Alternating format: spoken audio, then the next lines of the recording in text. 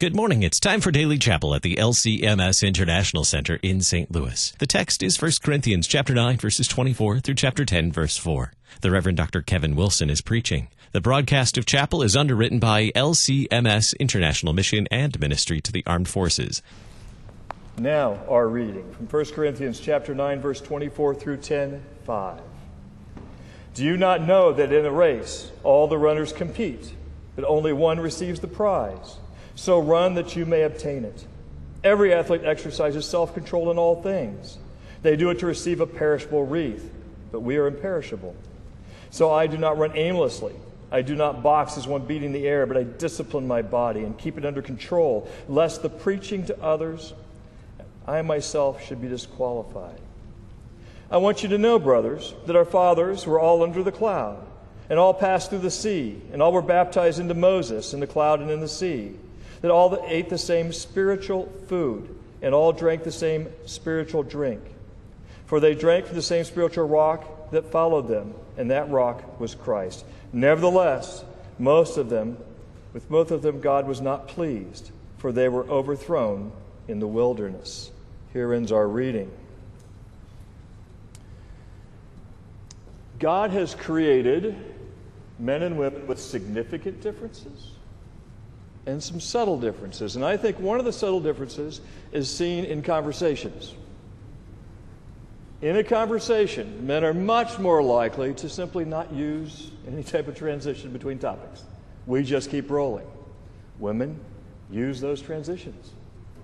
You know, I'm kind of watching, and people are kind of looking at me here going, okay, where's he headed with this? But I see the ladies are smiling. You know why? Because I'm right.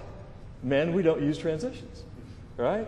Because the ladies know that talking to men all of your lives has been a lot like going on a road trip without GPS, right? Without, without a smartphone. You know you're going to get to the end of the conversation, not sure how you got there, right? But men, if you want to know if you've experienced this, and I certainly have, think about the times in talking to your wife, your mother, your sister, where in the middle of a conversation she stopped speaking and just looked at you like this. You know why? Because you've lost her. Because we don't use transitions. We just keep pushing through. I thought about this with our text today because the lectionaries put together, decided to, put together the end of 1 Corinthians chapter 9 and the start of chapter 10.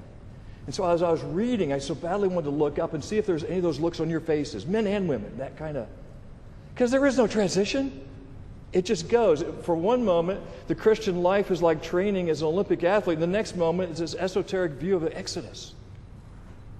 Now, I'm not sure why that was done, but I am confident that God can strengthen our faith through it. And here's how it's true. The Christian life is like training for the Olympics. Right? We know God's instructions about that life. Uh, the Apostle Peter, in his first epistle, he's quoting the Lord from the Old Testament and says, All right, here's God's expectation of his people be holy as I am holy. That's God's expectation. Our Lord himself giving instruction on how to live on a daily basis. Summarize the Ten Commandments. Love the Lord your God with all your heart, soul, and mind. Love your neighbor as yourself. That's the standard that's been set. So, yes, we look at the Christian life and we have to train as if we were athletes, Olympic athletes, because that's the standard. That's the expectation of holiness, of obedience, of love for God and for our neighbor. Here's the problem the harder we train, the more we try to live that perfect life in holiness and obedience to God, the more we push ourselves with the sacrifice and discipline an athlete at that level gives, the more we recognize that we fall short, that we cannot attend that, no matter how hard we work out in the faith. We can't reach it. The more we push ourselves and drive ourselves for holiness, the more we understand our lack of holiness and our sinfulness the more we drive ourselves to love God and love our neighbor and give everything we can to our neighbor, the more selfish we see ourselves in the mirror. The more we drive at it, the more we feel that.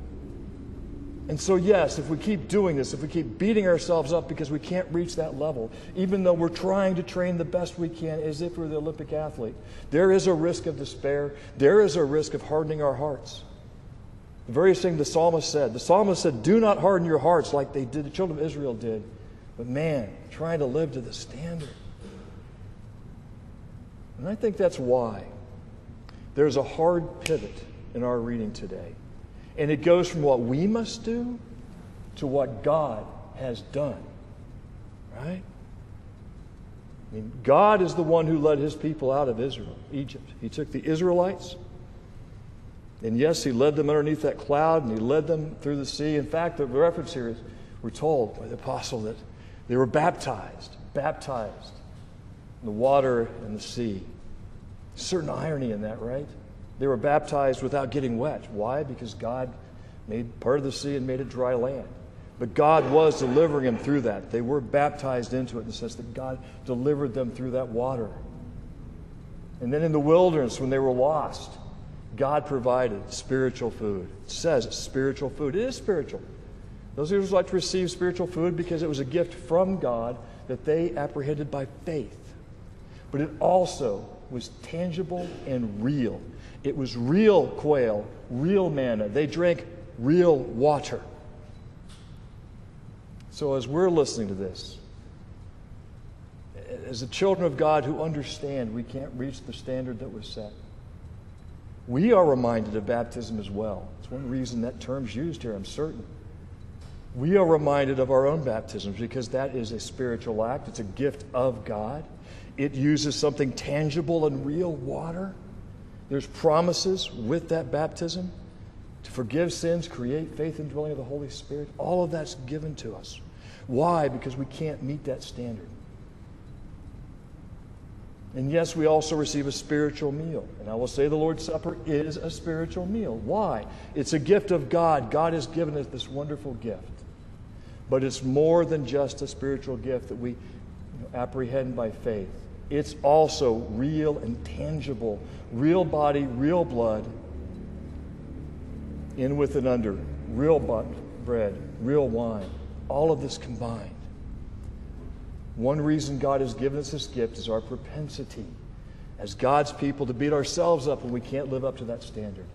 So that we will not reach the point of despair, so we will not reach the point where we might harden our hearts. God gives these wonderful gifts, including the Lord's Supper, to strengthen us, to encourage us, yes, to forgive our sins, to prevent that from happening. So I like the fact that there's no transition here, that it goes straight from what we must do to what God has done because of the comfort it provides us. We see what God provides even today. Baptism and the Lord's Supper. Amen. The peace of God passes all human understanding be yours in Jesus Christ. Amen and amen. Thank you for joining us for Chapel. The broadcast of Chapel is underwritten by LCMS International Mission and Ministry to the Armed Forces. To learn more about LCMS International Mission and Ministry to the Armed Forces, visit kfuo.org slash chapel.